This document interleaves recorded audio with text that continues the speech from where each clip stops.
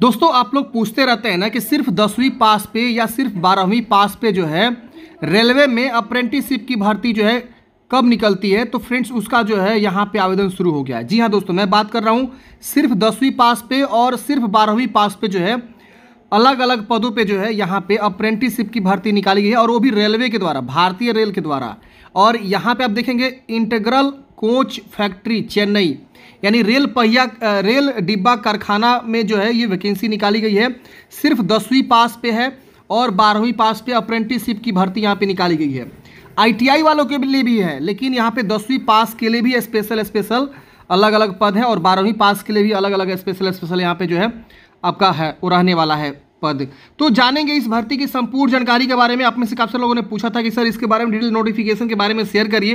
तो फाइनली जो ये वीडियो नोटिफिकेशन के ऊपर होने वाला है, मैंने ऑलरेडी जो है फॉर्म फिलअप के रिगार्डिंग जो है वीडियो बना चुका हूँ कि कैसे फॉर्म को फिल करना है। तो वो वीडियो नहीं देखें तो देख लीजिएगा लिंक आपको डिस्क्रिप्शन बॉक्स में मिल जाएगा। अब यहाँ देखिए जो आपका यहाँ पे मतलब जॉब लोकेशन होने वाला है मतलब जो आपका ट्रेनिंग होगा, वो इंटेग्रल कोच फैक्ट्री चेन्नई में होने वाला है। यानी अगर आप चेन्नई मतलब आप सोच रहे कि मैं चेन्नई में ही जाके कर, पाऊँगा तो आप जो है जा सकते हैं, आप फॉर्म भर सकते हैं। मतलब क्या? कि आप सोच रहे नहीं, मैं बिहार से हूँ तो बिहार में, नहीं, ऐसा नहीं है। यहाँ जो फैक्ट्री है, फैक्ट्री कहाँ पे चेन्नई में है। तो आपका जो इंगेजमेंट अप्रेंटिसशिप ट्रेनिंग होगा, वो चेन्नई में होने वाला है। अब यहाँ पे बोला गया कि preference to the candidates from Tamil Nadu Tamil Nadu के कोई कैंडिडेट्स है तो उनको ज़्यादा प्रीफरेंस यहाँ पे दिया जाएगा। फॉर्म भरने का अंतिम तिथि 21 जून 2024 है। अब आप ऐसे काफ़ी लोग पूछते हैं कि, सर अप्रेंटिसशिप एक जॉब होता नहीं है तो हम क्यों फॉर्म भरें?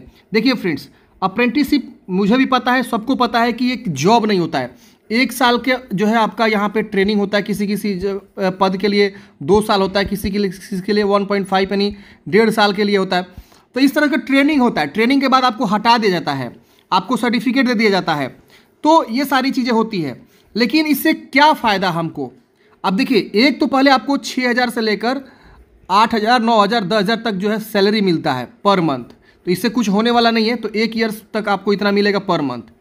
लेकिन यहाँ पे आपको जो सर्टिफिकेट मिलेगा ना अप्रेंटिसिप का, वो सबसे ज़्यादा मैटर करता है। वो सर्टिफिकेट आप अगर रेलवे में ही वैकेंसी आती है ग्रुप डी की तो ये सर्टिफिकेट के वजह से मतलब अप्रेंटिसशिप जब आप कर लेंगे एक साल कंप्लीट तो सर्टिफिकेट की वजह से आपको छूट मिलता है।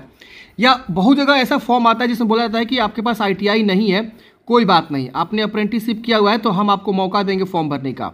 रेलवे ही खुद वैकेंसी निकालती है तो कभी कभी ऐसा जो है अप्रेंटिसशिप जो है मांग देती है। आईटीआई नहीं किए हैं और अप्रेंटिसशिप किए हैं तो आप यहाँ पे एलिजिबल रहेंगे। तो सेम उसी प्रकार का यहाँ पे जो है वैकेंसी निकाली गई है, सिर्फ़ दसवीं पास के लिए भी है और आईटीआई के लिए भी है। तो ट्रेनिंग होने के बाद जो सर्टिफिकेट आपको मिलता है, वो ज़्यादा कीमती होता है, वो ज़्यादा वैल्यूएबल होता है। जब भी रेलवे ग्रुप डी की वैकेंसी आती है तो अप्रेंटिसशिप वालों को ज़्यादा जो है यहाँ पे प्रीफ्रेंस दिया जाता है और उनको अलग से बोनस मार्क्स वगैरह दिया जाता है।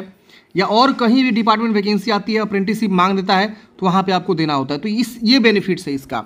यहाँ इंपोर्टेंट डेट की बात करें तो 22 मई से आवेदन स्टार्ट है, इक्कीस जून तक फॉर्म भरेंगे। इस वेबसाइट से आपको फॉर्म को भरना है। मैंने ऑलरेडी फॉर्म फिलअप के रिगार्डिंग वीडियो बनाया हुआ है।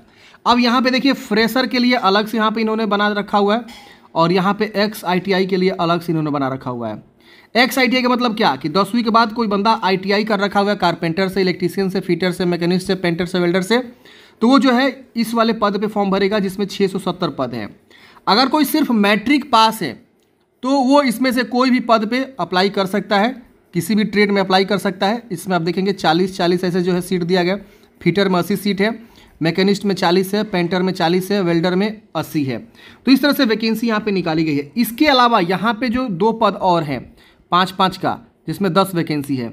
और यहाँ पे आप देखेंगे, ये एक जो है अलग पद है एक तरह का इसमें जो है आप देखेंगे, आगे हम डिस्कस करेंगे आगे इसका जो है क्या है।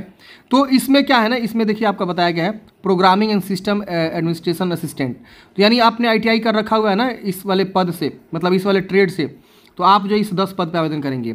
और इस दोनों पद के लिए देखिए यहाँ पे medical lab technician M radiology MLT pathology तो इसमें आपको देखेंगे तो इसमें पाँच पद हैं। इसमें पाँच है तो इसमें बारहवीं पास आपको चाहिए फिजिक्स केमिस्ट्री बायोलॉजी पीसीबी से कोई कर रखा हुआ है तो इन दोनों पद के लिए एलिजिबल रहता है। तो ये एलिजिबिलिटी है, हम आगे भी आपको बता देंगे। अलग अलग दिया गया है। लेकिन यहाँ एक चीज़ लिखा गया कि इंजीनियरिंग डिग्री कोई कर रखा हुआ है डिप्लोमा कोई ऑलरेडी कर रखा हुआ है, वहाँ फॉर्म भरने के लिए एलिजिबल नहीं है, या ग्रेजुएशन कर चुका है ऑपर मतलब क्वालिफिकेशन कंप्लीट कर चुका है ना, जैसे मान लीजिए सिर्फ़ दसवीं पास है, वही जा सकता है। सिर्फ़ बारहवीं पास है, वही जा सकता है। अगर कोई बंदा डिग्री कर रखा हुआ है पीजी कर रखा हुआ है, या इंजीनियरिंग डिग्री कर रखा हुआ है वो एलिजिबल नहीं होता है। डिप्लोमा वाले के लिए भी यहाँ पे बोल दिया गया कि आप एलिजिबल नहीं होंगे। कोई भी एडिशनल जानकारी के लिए आप इस नंबर पे बात कर सकते हैं। टाइमिंग साढ़े नौ से साढ़े पाँच बजे के बीच है। सैटरडे संडे सैटरडे मतलब सैटरडे तक मंडे टू सैटरडे अब यहाँ पे देखिए, अब बताया गया कि अगर कोई विकलांग पर्सन है तो उनके लिए यहाँ पे रिजर्वेशन के बारे में बताया गया है कि किस प्रकार के विकलांग है तो किस पद में आवेदन करेंगे। अब यहाँ पे आप नीचे आएँगे तो यहाँ पे आपको एलिजिबिलिटी बताया गया है। तो अगर आप आईटीआई कैंडिडेट्स हैं तो आपका उम्र पंद्रह से लेकर चौबीस के बीच होना चाहिए। देख रहे ना, पंद्रह वर्ष ही रखा गया है। अब एक दो साल आप ट्रेनिंग करेंगे तो सत्रह तक आपका उम्र होगा। या अगर सत्रह पे ज्वाइन करेंगे तो अट्ठारह हो जाएगा। फिर आप जब भी गवर्नमेंट वैकेंसी निकालेगी तो आप फॉर्म भरेंगे। आपके पास सर्टिफिकेट भी मिलेगा ट्रेनिंग भी आपने कर लिया। कैसे रेलवे डिपार्टमेंट में काम होता है, बहुत सारे डिसिप्लिन आपको पता चलेगा। इंडस्ट्री कैसे एक्चुअल में वर्क करती है, आपको बहुत सारी चीज़ों का पता चल जाता है। तो ये बहुत अच्छा होता है। अगर आप करना चाहते तो ज़रूर फरिए। नॉन आईटीआई के लिए आपका उम्र जो है पंद्रह से बाईस वर्ष रखा गया है, जो कि आप देख सकते हैं। इसके अलावा पाँच ईयर्स का अपर एज में छूट मिलता है एस सी को, यानी बाईस, अब पाँच इसमें ऐड करेंगे तो सत्ताईस ईयर्स हो जाएगा एस सी के लिए मतलब नॉन आईटीआई में। और चौबीस में यहाँ पे पाँच ऐड करिए, उनतीस वर्ष हो जाएगा आईटीआई वाले के लिए। अब यहाँ पे तीन साल का छूट मिलता है ओबीसी के। कोई ओबीसी से आता है तो यहाँ पे अपर एज में चौबीस में और यहाँ पे बाईस में अपर एज में और जोड़ दीजिए, उतना छूट उनको मिल जाता है। विकलांग पर्सन के लिए दस साल का अपर एज में छूट मिलता है। अब देखिए यहाँ पे लिखा हुआ है एक्स आई अगर कोई इन सब पद से फॉर्म भरना चाहता है तो यहाँ पे क्वालिफिकेशन जो है, आपका दसवीं में आपका साइंस एंड मैथ के साथ जो है पास होने चाहिए, पचास परसेंट मार्क्स के साथ। Under ten plus two system के अकॉर्डिंग और आपके पास जो है नेशनल ट्रेड सर्टिफिकेट उस ट्रेड में होना चाहिए जिस ट्रेड में आप फॉर्म भरना चाहते हैं। वन ईयर का ट्रेनिंग इसमें चलेगा। कारपेंटर पेंटर वेल्डर से अगर फॉर्म भरना चाहते हैं तो आप दसवीं पास होनी चाहिए पचास परसेंट मार्क्स के साथ। और आपके पास आईटीआई होना चाहिए, जो कि यहाँ पे लिखा हुआ है, और वन ईयर का ट्रेनिंग आपको चलेगा। इसमें आपको कोई मतलब स्पेसिफिक जो है आर्ट साइंस नहीं दिया गया है। अब यहाँ पे programming and system administration assistant के लिए दसवीं पास चाहिए और उस ट्रेड में आपको जो है आईटीआई सर्टिफिकेट चाहिए। वन ईयर का यहाँ पे computer operator and programming assistant trade अब यहाँ पे आप देखिए फ्रेशर के लिए है मतलब सिर्फ़ दसवीं पास ये देखिए, सिर्फ़ दसवीं पास है, पचास परसेंट मार्क्स के साथ। साइंस एंड मैथ में तो आप इन सब जो है ट्रेड पे फॉर्म भर सकते हैं, दो साल का ट्रेनिंग चलेगा। कारपेंटर एंड पेंटर के लिए देखेंगे तो दसवीं पास पे पचास परसेंट मार्क्स के साथ। आप पास हैं तो इस वाले पद पे अप्लाई करेंगे। कोई आईटीआई की आवश्यकता नहीं है। वेल्डर पद के लिए दसवीं पास चाहिए, पचास परसेंट मार्क्स के साथ। और यहाँ पे वन ईयर थ्री मंथ का आपका ट्रेनिंग चलने वाला है। एमएलटी रेडियो एंड पैथोलॉजी दोनों के लिए यहाँ देखेंगे। आपको जो है बारहवीं पास बोला गया है फिजिक्स केमिस्ट्री बायोलॉजी से। आपका जो है एक साल, तीन महीना का आपका जो यहाँ पे चलने वाला है। तो ये क्वालिफिकेशन है फ्रेंड्स आप यहाँ पे चेक करेंगे। अब यहाँ पे आपको बताया गया है रेट ऑफ़ स्टाइपन सैलरी क्या मिलेगा? तो मैंने एक प्रॉफिट बताया आपको क्या? कि आप जब आपको सर्टिफिकेट मिलता है, जब आप क्वालिफाई कर जाते हैं मतलब ट्रेनिंग ले लेते हैं, उसके बाद सर्टिफिकेट जो मिलता है ना, वो सबसे ज़्यादा इंपॉर्टेंट होता है। सैलरी आप देखेंगे तो बहुत कम है। छः हज़ार है फ्रेशर के लिए। इसके अलावा देखेंगे एक और फ्रेशर ट्वेल्थ पास पे सात हज़ार है और एक्स आई के लिए सात हज़ार है। ये पर मंथ आपको स्टाइपन मिलेगा। आपके खर्चे निकल सकते हैं, बचा नहीं पाएँगे कुछ। आपके घर से भी कुछ लग सकते हैं। क्योंकि चार हज़ार, पाँच हज़ार तो आपका रूम रेंट हो जाता है, तीन चार हज़ार आपको खाने पीने में लग जाता है, दस हज़ार खर्चा हो जाता है, आपको घर से भी कुछ लगाना पड़ जाता है। ये सारी चीज़ें बाकी आप देख लीजिएगा। अब यहाँ पे फॉर्म भरने का जो है प्रोसेस बताया गया, आप यहाँ पे चेक करेंगे। बात करते हैं फ्रेंड्स अप्लीकेशन फ़ी की। तो मात्र सौ रुपये अप्लीकेशन फ़ी देना है, वो भी सिर्फ़ और जनरल ओबीसी को। बाकी एस सी को, जो भी एस सी से आता है, उनको जो है एस सी उनको जो है यहाँ पे, और फीमेल सभी कैटेगरी के फीमेल हो, भले वो जनरल हो ओबीसी हो, उनको एक भी रुपया अप्लीकेशन फ़ी नहीं देना ज़ीरो रुपया। जी हाँ दोस्तों, और इनको सौ रुपया अप्लीकेशन फ़ी देना होता है फॉर्म भरते समय आपको लगेंगे।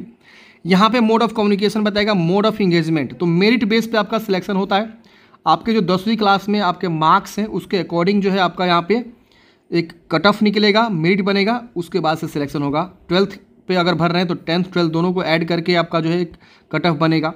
इसके बाद से यहाँ पे आपको जो है ये सारी चीज़ें इंगेजमेंट के बारे में डिक्लेरेशन के बारे में ये सब आपको बताया गया है। अब यहाँ पे नोटिफिकेशन आपका इंड हो जाता है। तो बहुत ही शानदार अपॉर्चुनिटी है फ्रेंड्स इंगेजमेंट के लिए आप लोग पूछते रहते हैं ना कि दसवीं पास पे सिर्फ़ और बारहवीं पास पे सिर्फ़ वैकेंसी अप्रेंटिसशिप की कब आएगी? तो आ चुका है, आप फॉर्म भरिए और आवेदन करिए। और सबसे इसमें यही है कि जिनका अच्छा खासा परसेंटेज है सौ में मतलब मतलब प्रतिशत पे ये होता है परसेंटेज पे आपका सिलेक्शन होता है तो प्रतिशत अच्छा खासा आपका रहेगा। मतलब मैट्रिक, इंटर में या आईटीआई से भर रहे हैं तो आईटीआई में तो आपका सिलेक्शन होने का पूरा का पूरा चांस है। मिलते हैं फ्रेंड्स किसी नेक्स्ट वीडियो में। जय हिंद।